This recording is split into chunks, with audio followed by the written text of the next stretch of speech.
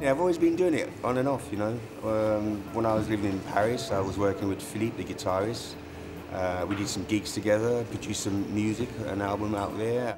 It's funny for me because people know me from my photography, and, and if you, and a lot of people think of me as being shy, which I am actually quite shy. But once I've got the camera in my hand, I'm in control. And same thing when it comes to the music on stage. Once I'm on stage, I'm a completely different person. You know, I, I just go for it and you know do what I have to do.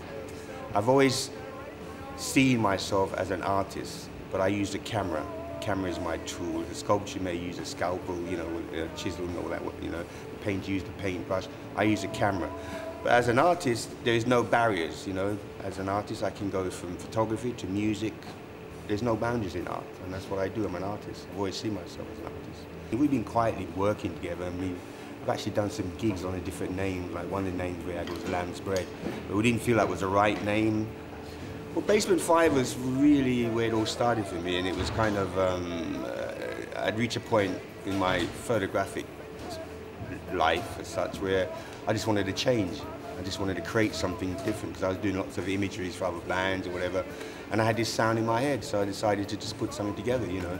And uh, so I created the, uh, the visuals, the music, with the bass player, and you know we got everything together and went out there, and uh, it created a big wave. Um, as a band now, it's very influential. You know, you got people like Asian Dub Foundation, even Stone Roses said they've been influenced by it. You know, and the thing is now we're very much in vogue, or the sound of Basement Five is very much in vogue. Lots of people are asking for the album, and. Uh, so Stanley Kubrick is uh, an advancement of Basement 5. The basement has been refurbished. Um, youth came up with the name Stanley Kubrick Goes Shopping and say, hey, that sounds good. So then we found the name, we found the format, found the visual ideas, music together, and then now it's like, hey, this is it. This is where we're at. It's fantastic, absolutely amazing.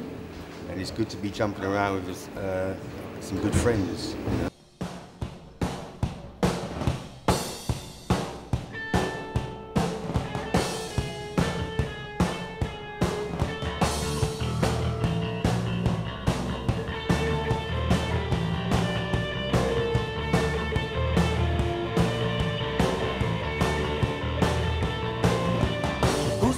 you? Why do you speak such lies? Who sent you? Who sent you?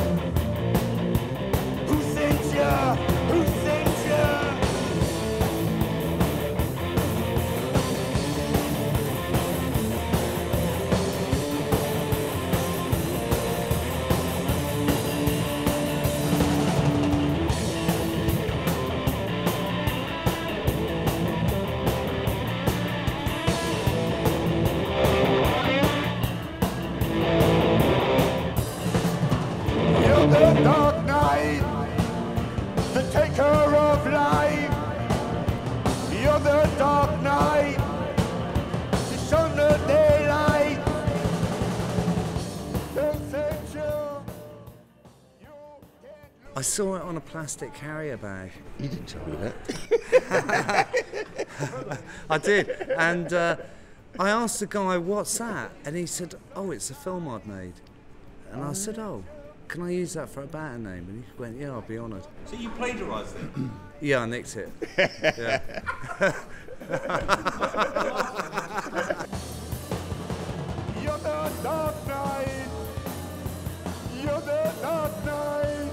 The, the thing about it is that with Stanley Kubrick, apart from being a filmmaker, he was actually a very accomplished photographer. And he was a punk. Yeah, he started as a photographer.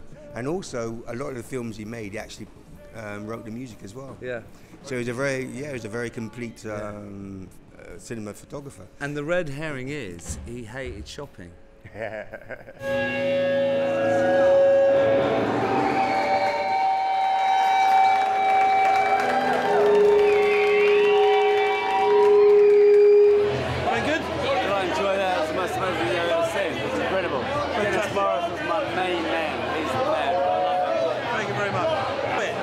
so enjoyed it, man. The drummer is the new Keith Moon.